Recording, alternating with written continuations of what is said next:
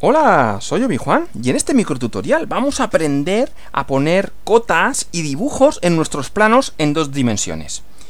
Partimos de este escenario inicial donde tenemos una pieza y ya hemos definido sus cotas en 3D y hemos puesto aquí algunos dibujos como este identificador de la pieza y lo queremos llevar a un plano en 2D. En este plano en 2D vamos a tener una planta donde se va a ver la vista superior, un alzado donde se va a ver esto de aquí y una vista en perspectiva. Lo primero que hacemos es agrupar las cotas y los dibujos según estas distintas vistas donde lo queremos ver. Esto ya lo he hecho yo aquí. He puesto tres carpetas, cada una de ellas con sus cotas. Vamos a ocultarlas, yo las voy a enseñar. Por un lado, estas serán las cotas que vamos a poner en la planta. Estas serán las cotas que vamos a poner en el alzado.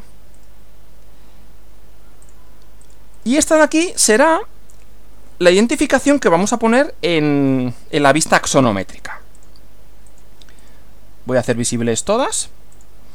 Pues bien, vamos a crear nuestro plano. Para ello, esto ya lo sabemos hacer de la primera temporada. Nos vamos aquí al módulo de Drawing, que ha mejorado mucho con respecto a la primera temporada, que era la que usábamos la versión 0.13 de FreeCAD, ahora vamos ya por la 0.15, está bastante mejorada. Para crear el plano, le damos aquí y Aquí podemos elegir el tipo de plano. Vamos a coger un tamaño DIN A4 y le vamos a poner uno que tenga pues la, ISO 7200. Y nos aparece esta plantilla. Este plano. Ahora vamos a introducir nuestra pieza. Para ello seleccionamos la pieza. En caso de que queramos meter una pieza que sea un ensamblaje, es decir, una pieza que está formada por más piezas, lo que hacemos es que las agrupamos. Y seleccionamos aquí la pieza agrupada y le damos a este icono de aquí que nos va a permitir seleccionar qué vista sola se queremos introducir en nuestro plano.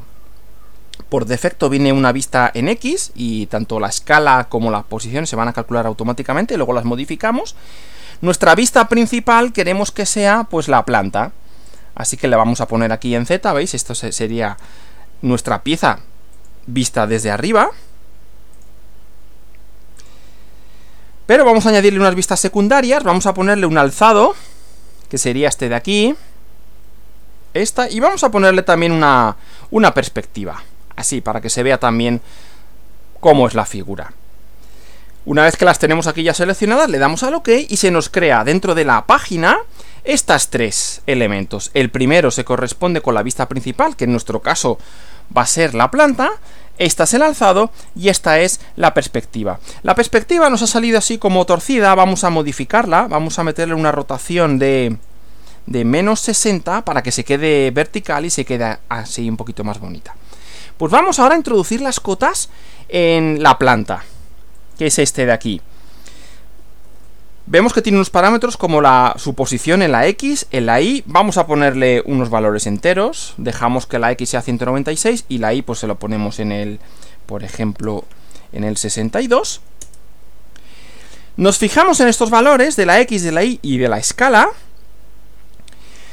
Y ahora podemos introducir cualquier objeto aquí en el plano y modificando estas propiedades lo situamos donde nosotros queramos.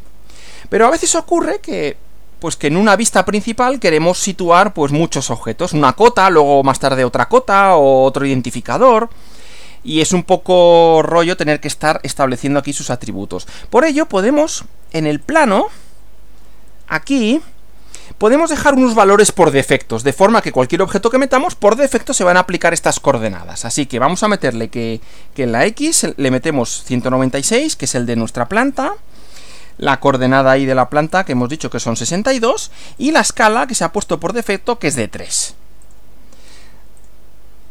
Y ahora ya podemos introducir los objetos. Nos vamos a, al módulo Draft, seleccionamos el grupo de cotas que queremos meter, que son las cotas, las X, Y, y le damos aquí este icono en Draft. Este icono de aquí, y esto automáticamente nos va a hacer que nos aparezcan las cotas en nuestro dibujo. Y se nos crea un objeto nuevo, que es este de aquí, con, la información que hemos metido. Bueno, vamos a ponerlo para distinguirlo mejor de, de lo que sería la, la planta, vamos a poner un color azul. Y la propia planta vamos a cambiarle el grosor de las líneas para que resalten un poquito más. Vamos a ponérselas en 0,5. Una anchura de 0,5. Para que nos resalte un poquito más. Bueno, vamos a meter las, las cotas del alzado. El alzado es este de aquí. Lo mismo, vemos aquí sus propiedades. Estas las podemos modificar. Vamos a poner que la i tenga un número entero para que sea más cómodo. Vamos a hacer que sea, por ejemplo, la, la 150. La bajamos un poquito aquí, y nos apuntamos estos valores, su, su, coordenada X 196, la Y 150, la escala, la rotación y luego la dirección. También es importante, esta es la dirección de, la vista, 0, menos 1, 0. Vamos a introducir las cotas del alzado, ahora lo vamos a hacer directamente. En vez de establecer aquí en la página los valores por defecto, lo vamos a meter directamente. Seleccionamos las cotas, que vamos a meter en nuestro alzado y desde el módulo draft le damos a este icono de aquí y aquí nos aparecen las cotas, pero claro, nos han aparecido puestas sobre la planta, que era lo que habíamos puesto por defecto, así que lo vamos a editar.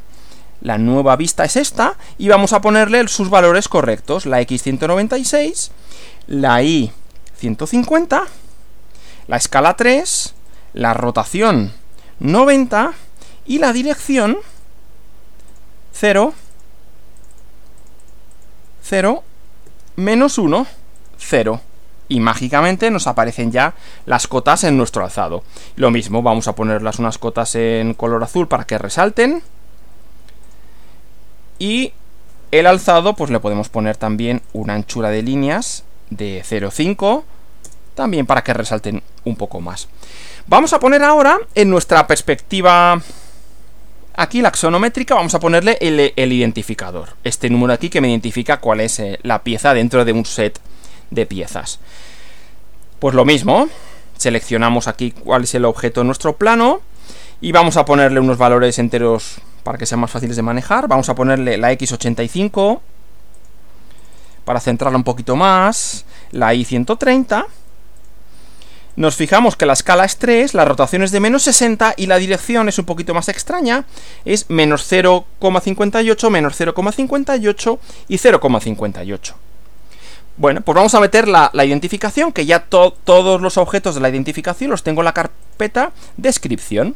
Así que la señalamos, nos vamos a dentro de draft, le damos a este icono, se introduce, veis que nos sale en el alzado, porque es el, el, que los valores los tenemos por defecto, perdón, para la planta. Y ahora ya simplemente cambiamos los valores. Pues le decimos que nuestra X sea de 85, que nuestra Y sea de 130, la escala de 3, la rotación de menos 60 y la dirección, un poco más extraña, era de menos 0,58 menos 0,58 y 0,58. Y ahí tenemos ya nuestra identificación, que ahora podemos cambiar el color para que se vea un poquito mejor, por ejemplo en rojo, y ya lo tendríamos. Ya por último, una vez que tenemos el plano, podemos editar las propiedades del plano aquí, donde podemos cambiar los valores del cajetín. Así, por ejemplo, pues donde pone mi, ponéis vuestro nombre. Voy a poner aquí Obi Juan, que es el que ha hecho el nombre de la persona que ha hecho el plano, y tenéis distintos valores que os van apareciendo por aquí. Yo normalmente, hay más valores por aquí abajo que no aparecen. Yo suelo poner a A, B, B, CC, DD, etcétera, y así me aparecen estos valores y luego yo los sustituyo por los míos. Cuando ya tenéis el plano hecho, os vais a Drawing, le dais aquí y ya lo podéis exportar en SVG y lo podéis abrir, por ejemplo, con Inkscape o lo podéis publicar. También, por supuesto, lo podéis exportar a, DXF. Pues vamos a practicar esto. Para ello, os propongo como ejercicios, ejercicio número uno, que partáis de este escenario inicial donde tenemos la pinza, que ya hemos hecho en otros ejercicios, y tenemos puestos aquí unos identificadores de las distintas piezas y aquí una leyenda de lo que es cada pieza. Pues esto ya os lo doy yo, y os propongo que hagáis este plano. Para ello tendréis que tomar, esta es la, la, vista es la planta, tendréis que agrupar estos identificadores en una carpeta, la leyenda en otra carpeta. La pinza está formada por distintas piezas, así que tendréis que agruparlas antes de, de proyectarlas. Y luego ya lo hacéis, pues como os he enseñado a hacerlo yo aquí. Como ejercicio número 2, os propongo que toméis la pieza número 5 de esta pinza, que es el dedo, y que hagáis unas cotas. Estas son las cotas que he puesto yo. Yo no soy especialmente bueno acotando, de hecho no, no tengo mucha idea, así que no, lo toméis como unas cotas buenas, sino simplemente como un ejemplo a acotar. Lo acotáis en 3D y una vez que lo tenéis acotado en 3D, lo volcáis ya en un plano en el que ponéis vuestro alzado, vuestra planta y la, la vista en 3D y luego cambiáis los valores del cajetín para poner los vuestros. Y como ejercicio número 3, pues lo vamos a hacer con, las, con estas piezas también de la pinza, que son los eslabones engranados.